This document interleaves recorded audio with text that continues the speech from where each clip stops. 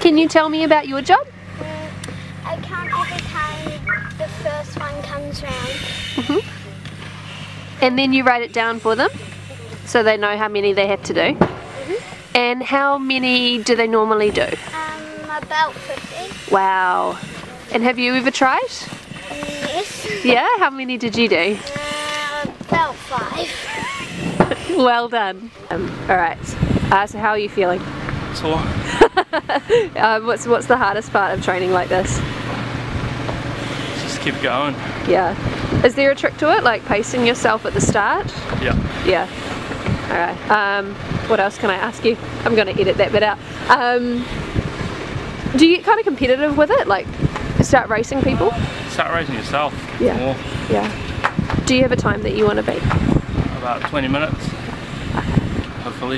Yeah.